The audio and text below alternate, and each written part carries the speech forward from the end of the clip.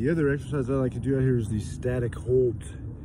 These static holds because it works my whole arm, especially my elbow. And oh, well, I'll show you here. And then I'll introduce you to my best friend, second best friend, this tree. I named this tree Joshua. I'll tell you that story here in a minute after I do static holds. So it's basically twisting the elbows out and then holding it. Oh, lifting my feet off the ground and holding as long as I can. Oh. oh.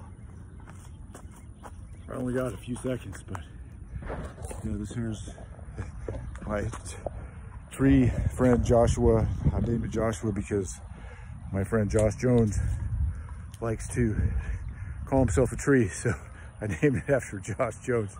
Here's where I do my ring exercises on this tree named Joshua. It's Coach Mark out.